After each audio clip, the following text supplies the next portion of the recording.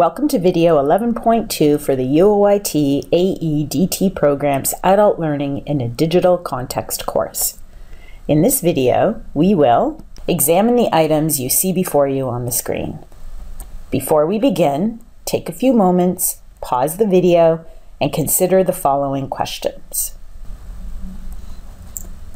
As previously mentioned, like other assessments we have considered, Tests also serve as a means to gather evidence of student learning. And so we go back to the alignment of learning objectives, instruction, and assessment. Consider what evidence of student learning will the test hope to gather based on the learning objectives and related instructional experiences. You might want to consider creating a table of test specifications like this simplistic example introduced in video 11.1. This lists the content topics derived from the learning objectives in this dimension of the table, and the cognitive processes to be addressed in this dimension. Again, this table is simplistic and only to demonstrate. It breaks down the number of test items that address the content and skills to include in the test that reflect the course content and skills in roughly the same proportion. And by doing so, this enhances the content validity of the test. In other words, does the test address the content that it is intended to address? Pause to take a closer look and consider what topic did the instructor spend the least amount of time addressing in the course. Why? Hopefully you see that since only 10% of the 10 items were devoted to the preparation of oxygen, we presume that 10% of the instructional experiences within the period of time that this test encompasses was devoted to the preparation of oxygen. If 40% of the instructional experiences were devoted to the preparation of oxygen, then this test or summative assessment is not fully assessing what it was intended to assess. This demonstrates the breakdown according to cognitive processes that comprise the test. This much of the test was devoted to remembering, and the corresponding topic. Pause to view.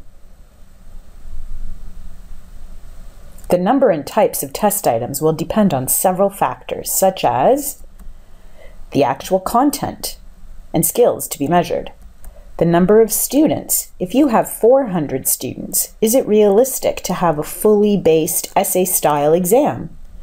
And how much time do students have to complete the test? And how much time do you have to grade the test prior to grade submission? So then we need to consider the format of test items. This goes back to the original question posed by Wiggins and McTighe. What is it that you wanted your students to learn or be able to do? This question is informed by the learning objectives. Let's start with the types of test items addressed in the resources for this week. Pause and consider what the advantages and disadvantages of each might be. Please go to this week's readings and read over the documents you, if you have not already done so. Pull them up and have them handy as this video will require you to go back and forth from the video to the documents. These documents are quite extensive and several examples will be drawn from this work. If they are not handy or open, please pause the video and open these documents prior to moving forward. This document by Mary Piontek lists the advantages and disadvantages of each type of test item and will help you determine what type of test item to include in your test.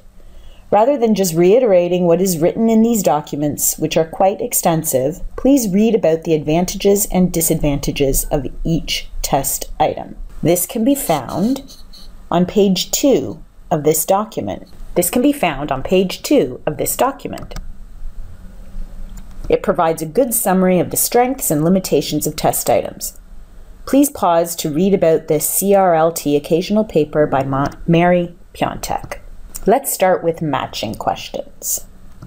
Please pause to read the criteria for a matching item. This column lists the problems and questions, and this column lists the responses. Your job is to connect them. This is based on what you just read about disadvantages and advantages of various test items. Pause and match. Here are the responses. How did you do? Do you really understand or did you guess? How effective did this type of test item assess your understanding? These are questions to consider in your own test item development. Once again, please pause to read this description. In this example, the first column lists an advantage or disadvantage statement, and the second column identifies the advantage or disadvantage. Again, pause to assess your own understanding and come back when you are finished. How did you do? Pause to read these more practical types of guidelines. Does this example meet the criteria? Pause to consider and then come back. Hopefully you see that for the most part, this example does contain these criteria. However, it does not have more responses. Consider the difference in completing this task now with this example. Pause to complete and consider. How did you do? Let's now go to true, false types of questions. Please go to this document and read about true and false questions on pages 12 to 13. Once you're finished, please come back. Now let's look at this example. Based on what you just read, what is the problem? Pause to consider. As noted in the resource, the first item seems to have been extracted right from a textbook, whereas a better test item actually has test takers apply the information and come up with a response. Now let's look at this example. Based on what you just read, what is the problem? Pause to consider. What is this first test item trying to assess? Is it to assess students' ability to remember that the author of The Raven is Edgar Allan Poe, or is it to assess spelling? If this was a spelling test, then this might be appropriate. But if this is a literature class, then this does not seem appropriate for a host of reasons, but to trick students based on spelling is not consistent with guiding principles of assessment. Now let's look at this example. Based on what you just read, what is the problem? Pause to consider. Hopefully you realize that the use of the negative creates an unclear test item, as would words like always, all, and never. Now let's look at multiple choice. This example of a multiple choice question drawn from one of this week's resources identifies the key features of a multiple choice item, the stem, or the question statement, and the alternatives, which are comprised by one answer and additional distractors. Please now go to this document. It serves as an extensive document about multiple choice test items. Let's take a quick look. This document provides a very thorough examination of the anatomy of a multiple choice test item, as well as how to incorporate higher order thinking skills. Please pause, take a look at the document, and then we will examine some examples. Let's take a look at this example on page 15 of the document. Why is this a poor example? Pause to consider. First of all, as you have read. The stem should be in the form of a question or an incomplete statement. Since the stem is the foundation, this leaves the test taker wondering what the question is all about. Why is this a better example? Pause and consider. The problem is clearly identified in the stem and the choices. The, dis the distractors and the correct answer could all be potential options for the correct answer as they are written in a somewhat consistent fashion. Now go back to this document and please read pages 3 and 4.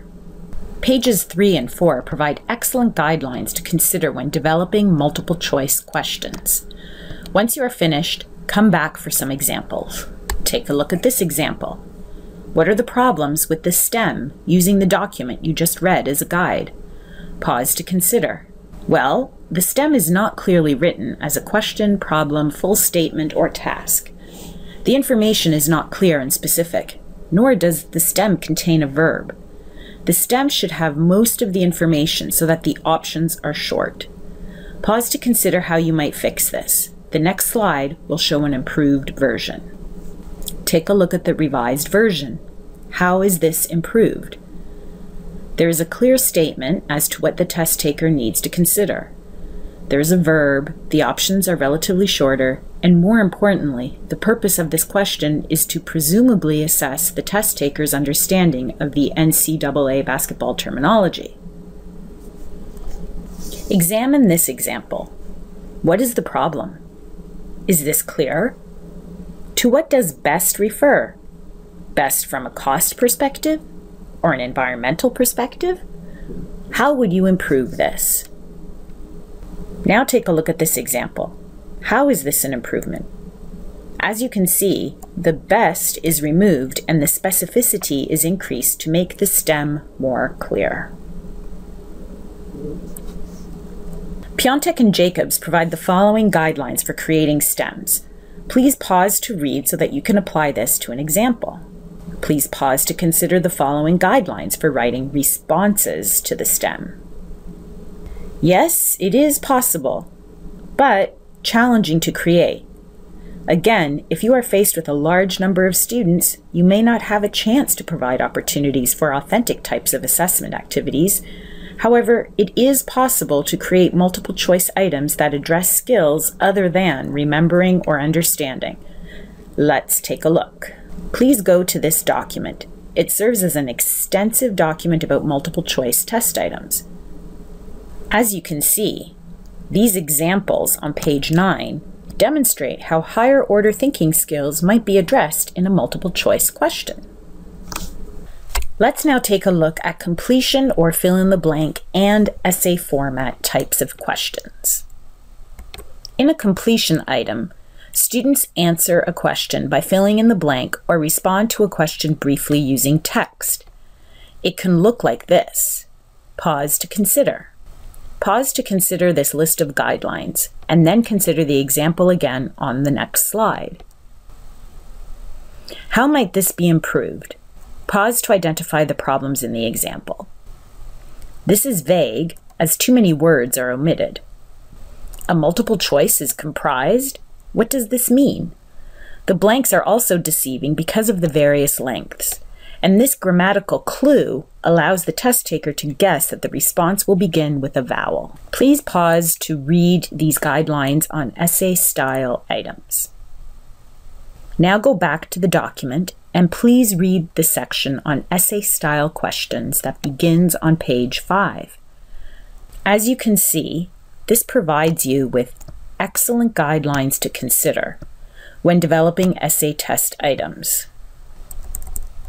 And some of it may be familiar, especially the components regarding how to carefully create assessment criteria. Here are some examples. Why is the first example a poor example of an essay style question? How is number two better? Again, consider the higher order cognitive processes like compare and contrast, rather than identify or list. Essay style items could also include lower and higher order thinking skills.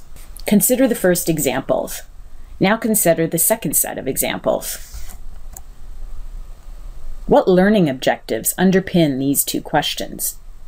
There are all these are all things to consider. Here's a summary compiled from Jacob's work. Please pause to consider this and the following slide. This video provided information regarding creating test items.